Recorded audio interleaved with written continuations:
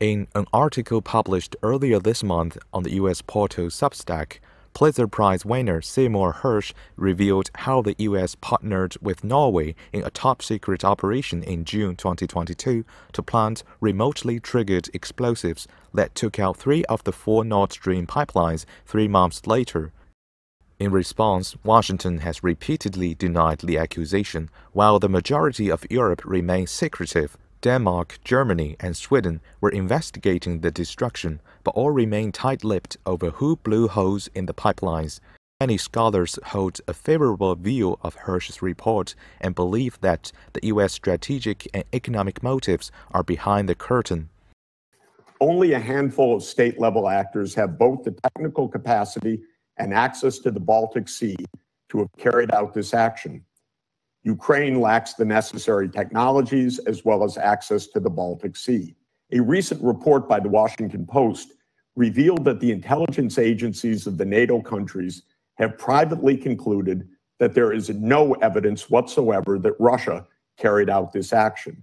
Indeed, Russia is likely to bear considerable expenses to repair the pipelines. évident que la destruction euh, de Nord Stream 1 et de Nord Stream 2 profite aux États-Unis, puisque avec l'explosion, ça rend tout à fait compétitif le gaz de schiste liquéfié euh, américain, euh, qui peut du coup être exporté euh, en Europe et enlever la mainmise énergétique de la Russie et permettre aux États-Unis de récupérer une forme de The Nord Stream pipelines, of course, were blown up by the US and NATO allies, and now a US economic war is conducted against the submissive allies in Europe.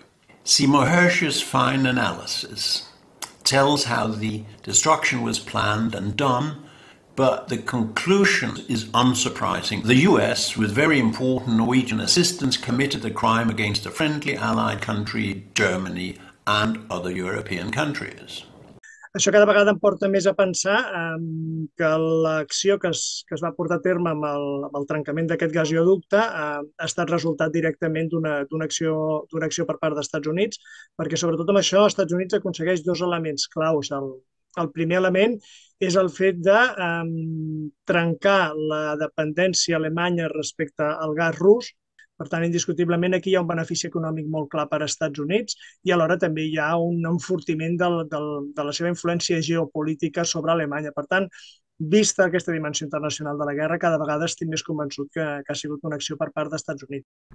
On September 26, 2022, a series of clandestine bombings and subsequent underwater gas leaks occurred on the Nord Stream 1 and Nord Stream 2 pipelines, which carry gas from Russia to Europe.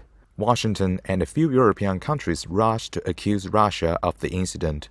But the chilling details exposed in Hersh's report have aroused concerns among the international community.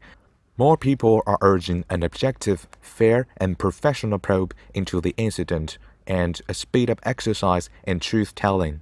Uh, it is a good motive for America to blow up that pipeline to prevent Germany from getting oil. Um, if United States got caught blowing it up, they would lose uh, a lot of support in Western Europe.